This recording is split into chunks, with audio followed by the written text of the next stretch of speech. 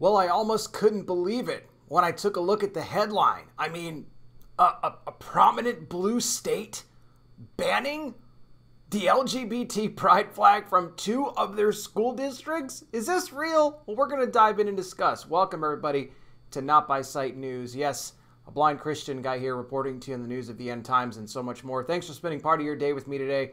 Reminding you, as always, that we walk by faith, not by sight. And, well, for someone like me, that's kind of my only option.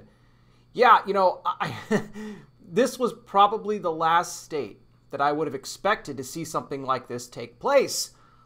Uh, but it's true. I mean, it got me interested. I was like, I got to read up on this because I'm, I'm sure my, you know, my viewers are going to want to know what's what's going on with this. And yeah, uh, two school districts in California, of all states, have now banned the LGBT pride flags from flying on campus. Now, let's talk about this first one. This was in the town of Sunol. Now, this is a very small town, okay?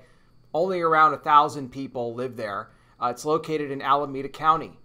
And the school board there had voted that there would be no pride flags to be displayed anywhere on campus, not just, you know, uh, outside, but also inside the classrooms, basically anywhere.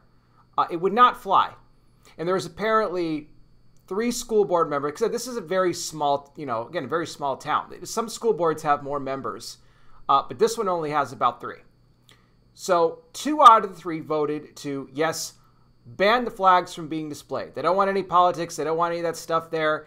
Uh, you know, and again, probably a more conservative area. I'm just guessing. I don't know. I don't live there. I've never been there, but just my thought. Uh, in you know small areas like this, that's what you have to kind of sometimes think. So apparently, the backlash against these school board members is so great. The par- parents, liberal parents, are so outraged by this. I mean, out of all the things to get upset at in the world, right? This is what they're focusing on. They're wanting the two members of the school board who voted to ban the flags, they want them recalled and they want new board members in their place. Well, of course they do, because they didn't vote the way that they wanted them to. It's absolutely ridiculous. I mean, the parents are saying we want to keep our kids home. We are, our kids aren't going to feel safe on the campus. I mean, give me a break. Give me a break. Good on this uh, on the school here. Again, the Sunol School District. Now, the second one, the second school district was a little bit more interesting.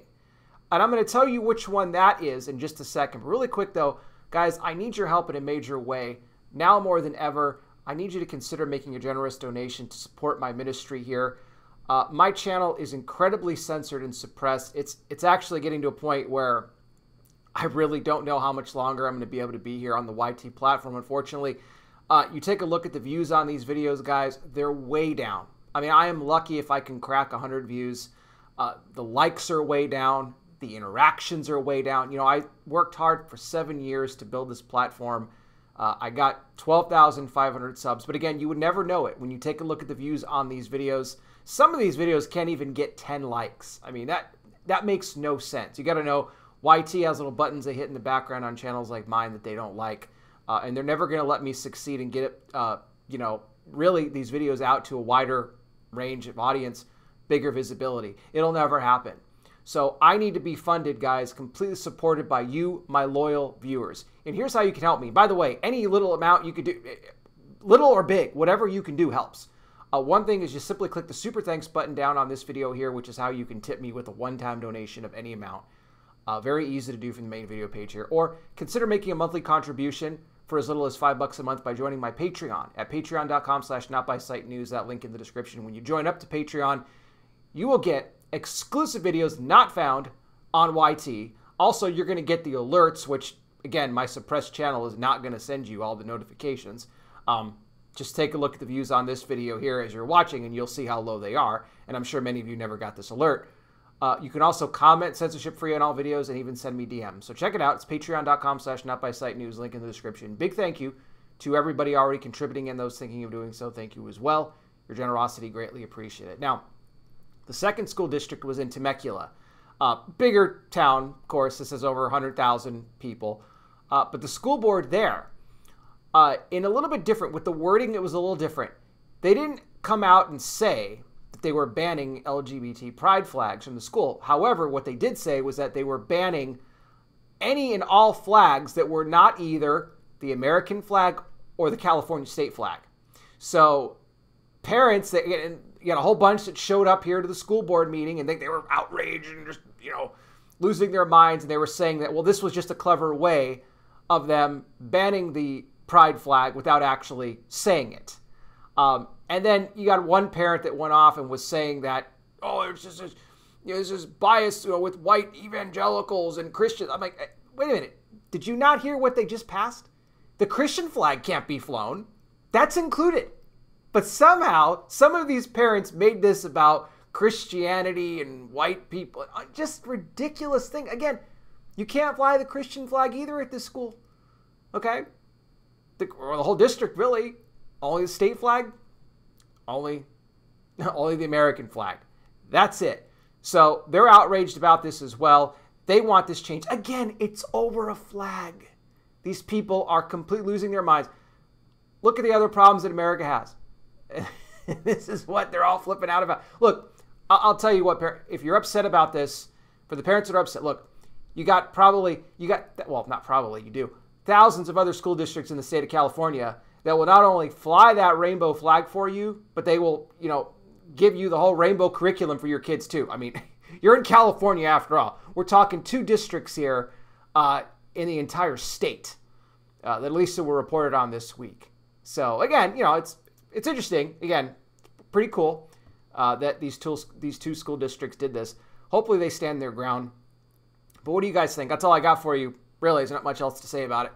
Uh, but I want to hear from you. If you're lucky enough to get a comment to go through, um, chime in in the discussion. What I want to do now, though, something I do on all these videos, and that's end this video on hope. It's called the salvation for anybody who has not yet received Jesus as Lord and Savior. I never know how many people this is going to reach. Maybe I never get one person saved. Again, we don't get a lot of views on these videos because of the suppression and all that, but we always want to just provide the opportunity just in case.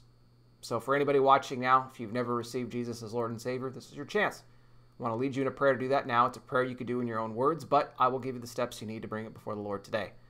First thing that you want to do right off the top, acknowledge you're a sinner. That's something we all are. The good news is that God gave his only son, Jesus Christ, to die on that cross for the sins of all the world as he died and rose again for you and me. He paid the cost. What you have to do is repent of your sin, which means to turn from sin, not just to say you're sorry and jump back to your old ways, but to actually turn from sin, which are those lifestyles, patterns, habits, behaviors, things in your life that go against the Word of God. If you humbly go before the Lord, though, and ask Him to forgive you, He'll wipe your sin away. The Bible says He doesn't remember it any longer. And then you invite Jesus into your life to be your Lord and Savior. When you do that, you become born again, a child of God. You will have eternal life Trust me when I tell you there is no greater decision you will ever make than the one you do to give your life to Christ. And I pray you make that decision today. Again, more info down below. Don't forget the links to donate to the ministry are there as well.